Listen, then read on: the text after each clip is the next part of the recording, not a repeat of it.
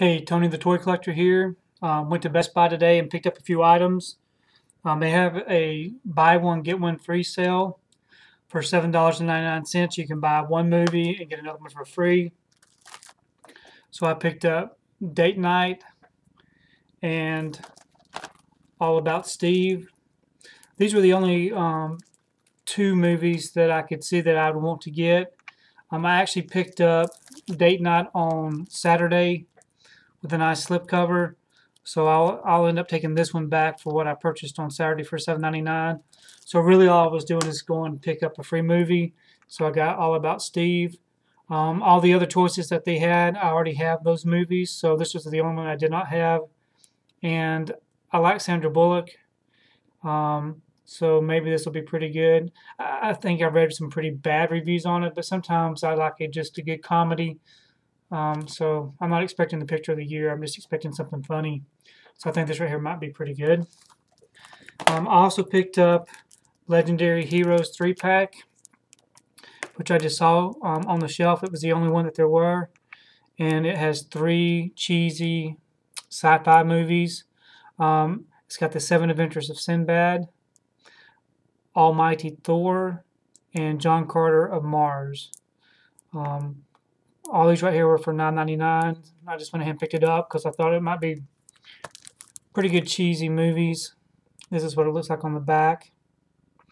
It's got some B actors in it. Um, Patrick Muldoon, Richard Grieco, um, Antonio Sabato Jr.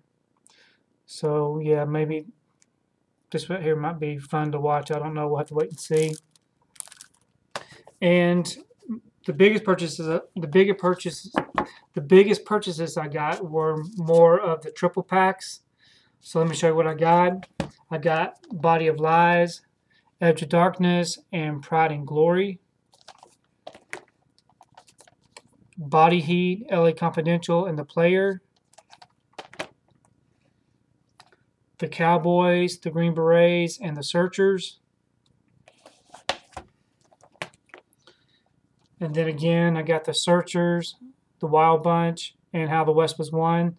Of course, I don't know why they would have two different triple packs with the same movie in both, but I got both of them anyway because of the other movies. I got the Losers, Rock and Rolla, and Shoot 'em Up.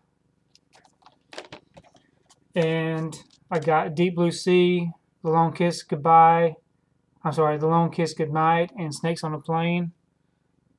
So those are the triple features that I got. All of these were for $11.99, which was a little bit more than I wanted to pay. But since they did have them all in stock, I went ahead and got them. Um, so that really increases my triple feature and double feature collection.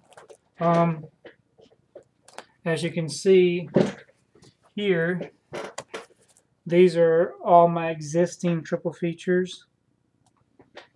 And also, the, well, I say triple features combined. These are the triple features and double features, which is a pretty big set. So maybe maybe here in the near future I'll do a uh, Blu-ray collection update with all those listed in there. Oh yeah, and also I picked up Jaws, the 100th Anniversary Universal Edition. Um, I do have the digibook of this, but I do not have the one with the slipcover. So I went ahead and got this one also. So tell me, uh, you know, maybe comment. Let me know what you think about what I picked up. If you've seen any of these, if you've if you actually seen this anywhere, and what you think about it. And I would really like to hear what you think about All About Steve if you've seen this.